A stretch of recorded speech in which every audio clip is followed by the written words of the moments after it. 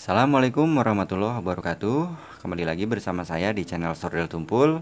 Video kali ini ada handphone Redmi 5A Dengan kendala handphone ini muncul logo handsfree.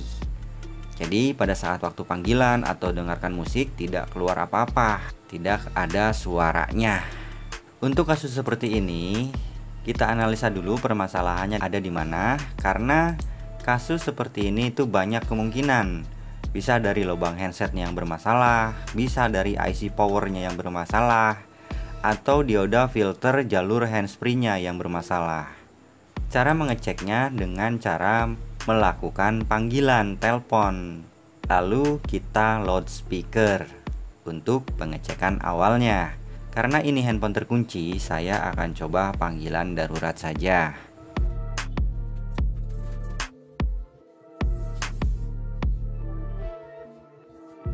Nah, setelah panggilan darurat berjalan, kita klik loudspeaker. Apakah masih bunyi?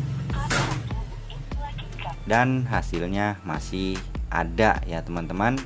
Di loudspeaker masih ada suara. Saya coba kembali.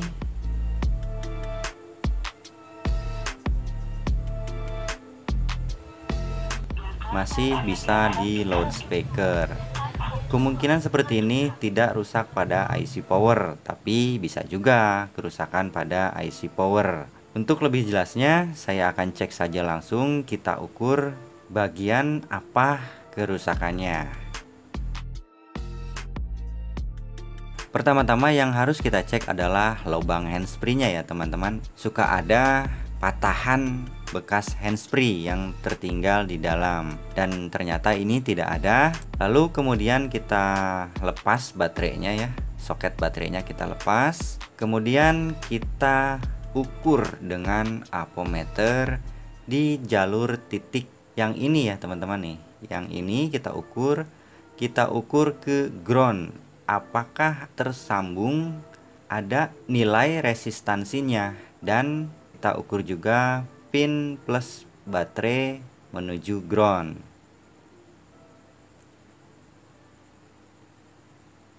Probe merah saya tempel di ground lalu saya ukur di titik ini saya menggunakan kali satu. Nah teman-teman di sini jarum apometer memiliki nilai resistansi berarti Jalur pin handsfree ini short atau konslet. Lalu kita coba ukur juga jalur pibatnya apakah mempunyai nilai resistansi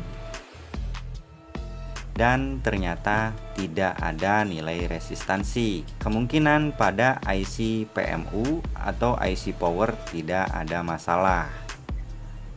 Saya ukur kembali di pin handsfree ini dan ada resistansinya. Pin HF ini terhubung ke sini ya teman-teman, ke FL ya, ke lilitan bentuknya seperti resistor, lalu terhubung ke dioda filter. Biasanya permasalahannya ada pada dioda filternya yang sudah bocor atau setengah konslet. Nah ini FL-nya atau lilitannya dan ini dioda filternya. Saya akan melepas dua buah dioda ya.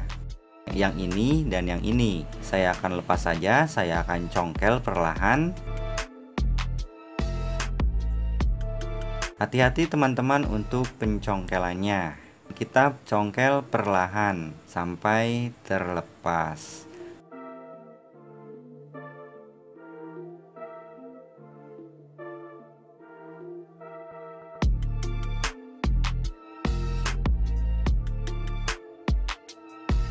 Ini sudah terlepas satu buah dioda. Sebenarnya yang sering konslet itu dioda yang ini ya. Tetapi saya akan melepas juga dioda yang ini. Saya congkel kembali.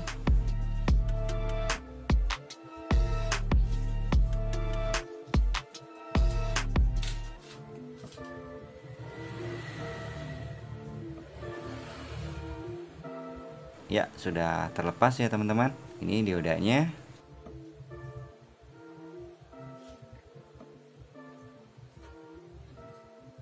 dan pastikan kedua pin sisa kaki-kakinya ini tidak terhubung lagi. Teman-teman bisa ukur antara pin sisa kaki dioda ini sudah tidak terhubung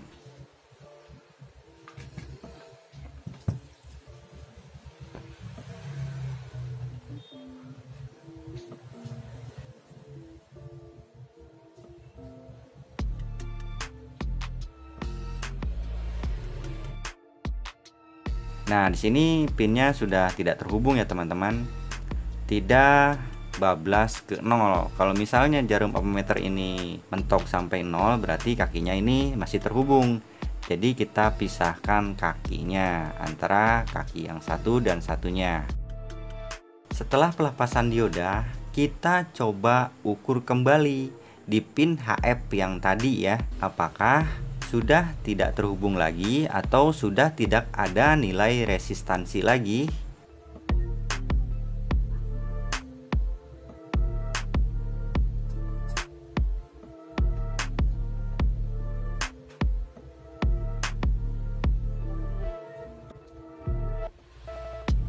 Nah, ini sudah tidak ada ya teman-teman. Tidak ada nilai resistansi lagi menandakan jalur HF ini sudah tidak short. Permasalahannya ada pada dioda ini. Langsung saja saya akan coba tes. Saya nyalakan handphonenya, kita lihat hasilnya sama-sama.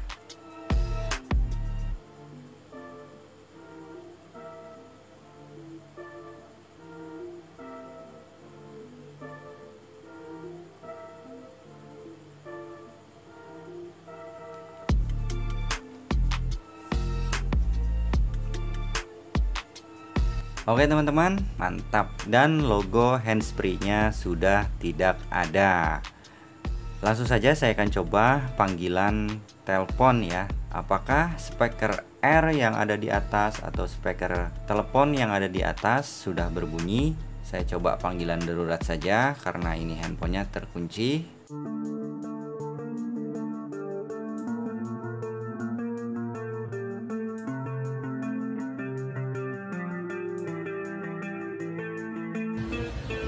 Kilo speaker ada dan coba kita dengarkan speaker kecilnya dan hasilnya sudah ada ya teman-teman. Sudah bagus sudah mempesona. Sekian dulu video dari saya. Semoga bermanfaat. Maaf jika ada kesalahan. Sampai bertemu kembali di video saya selanjutnya. Wassalamualaikum warahmatullahi wabarakatuh